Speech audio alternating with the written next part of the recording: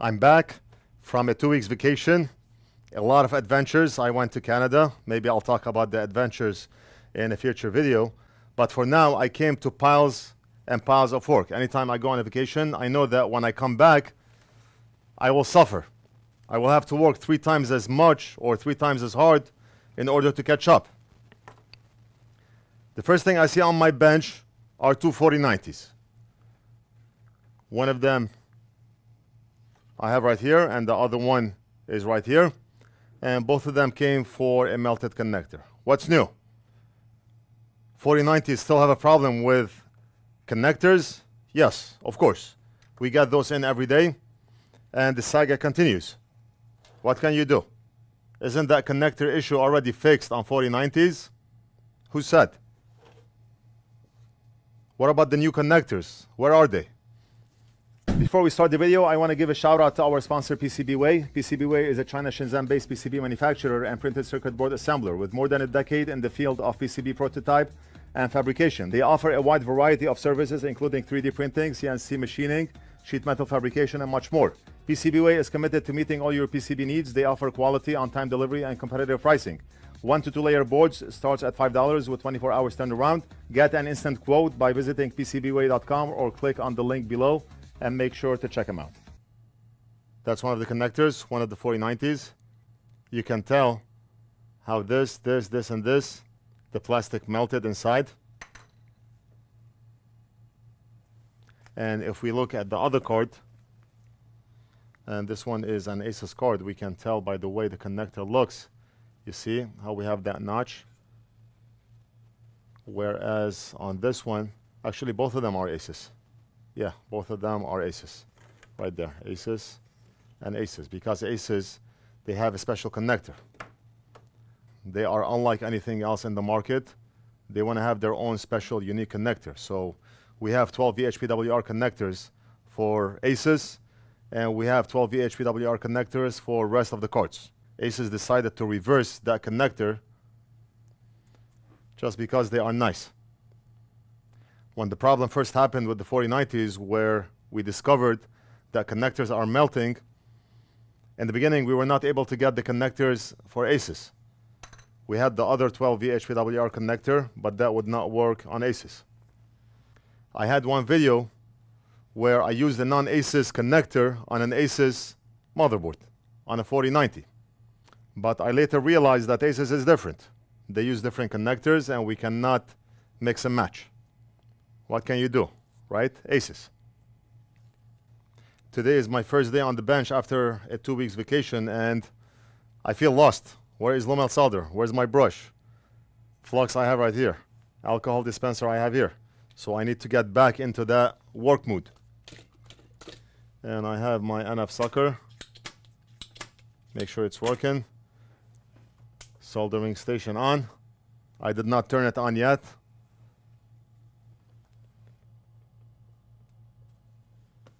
Okay, that's turning on right now. So first video after my vacation. Let's go under the microscope.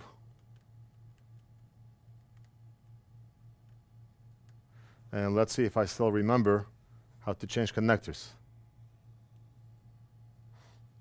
Right? Of course I do. I'm just joking with you once you have the skill, It's hard to lose it unless you get away from it for a very long time. If you don't use it, you lose it. All right, so we're gonna have to put the fume extractor on. I mentioned in one of the videos how the fumes from 4090s, they stink. And I mentioned how I use a mask so I do not breathe all those fumes, even though my fume extractor is on. But still, right now I do not want to use the mask so I can talk. But the other video card, I'll do it off camera and I'll use the mask. Right now I'm using low melt solder. We're gonna mix low melt with unleaded solder that's already on the board so we can lower the melting temperature of unleaded solder. Otherwise, we're gonna suffer trying to desolder that connector.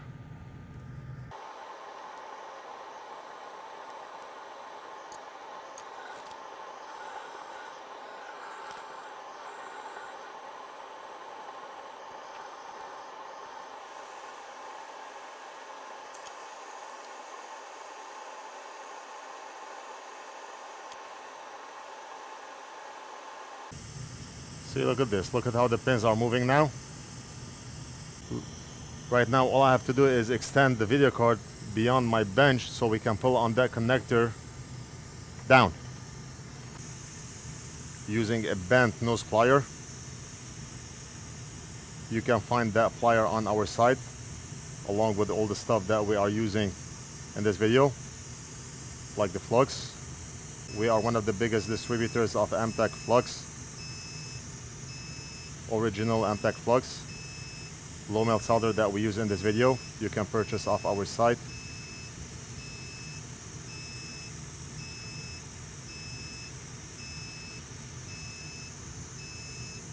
Soldering stations hot air stations thermal cameras fume extractors. You can buy all your tools from one place. Just log into northridgefix.com click on shop add to cart. Check out pay and we almost always ship out same day.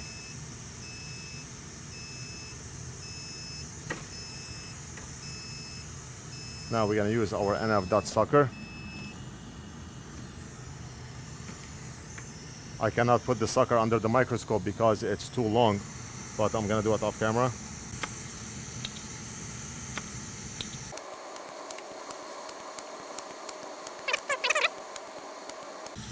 And let's check and see if we got them all.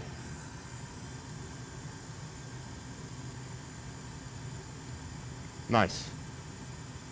We got them all. The magic of NF.sucker. Clean up. We did not expose the board to a lot of stress, to a lot of heat. We used low melt solder lower the melting temperature of unleaded solder that's already on the board. Because when low melt mixes with the unleaded then it becomes easier to desolder that connector. The magic of low melt solder. You see some scratches here and there. That's normal because the mask on the board is very weak. As soon as we apply our hot iron on the pin the mask gets scratched. But that's okay we can add a mask later to cover the scratches. Let me grab a connector if I can find one right next to me. And yes, for those of you in the same type of business or doing this as a hobby, you can also purchase those connectors off our site.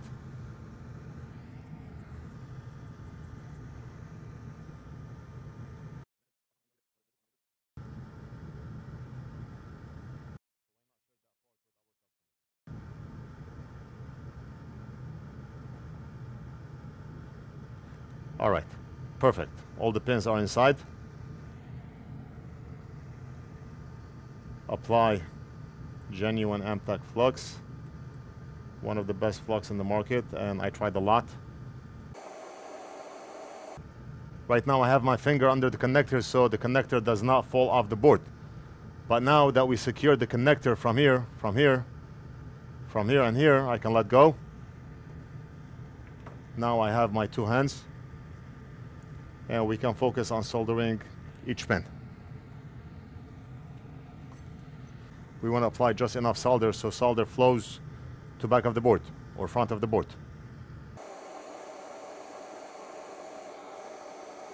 Flux is your friend. Why are you applying a lot of flux? That's not a lot of flux. We are working under a microscope. It looks like a lot, but it's only a drop.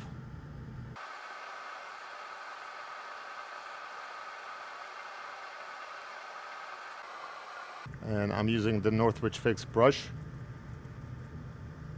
right here. If you are a customer, most likely you already have this brush. Now all we need to do is add solder mask to cover the scratches, but before we do, let me just check front of the board. Make sure solder made its way up all the way to the pins. And look at this. Better than factory. Truly better than factory. What more do you want?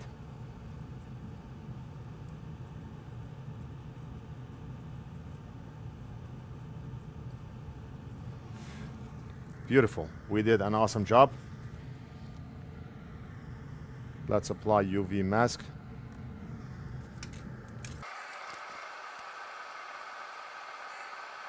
Just a tiny bit here. A tiny bit there. Maybe here. Here. And why are you using a green mask and not a black mask?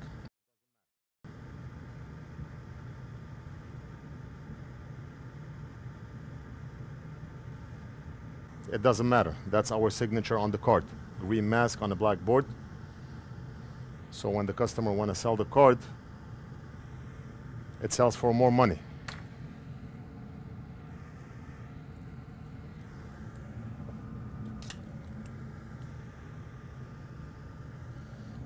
Now we're gonna grab our UV light, our Northridge Fix UV light, along with some hot air.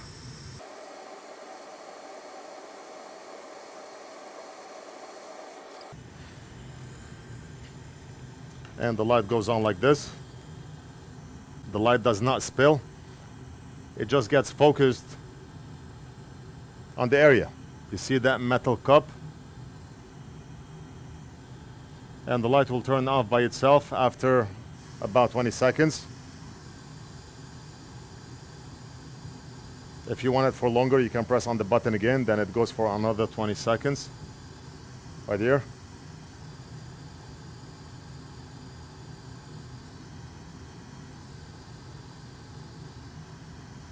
And done. Let's take a look. Beautiful. Wow.